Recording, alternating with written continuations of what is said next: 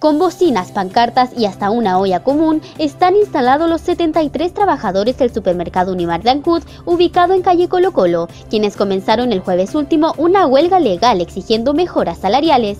El Gamila Pichún, vocera del sindicato número 1 Bigger, al cual pertenecen los huelguistas, dijo que la acción que ellos emprendieron es para exigir a la empresa mejoras salariales.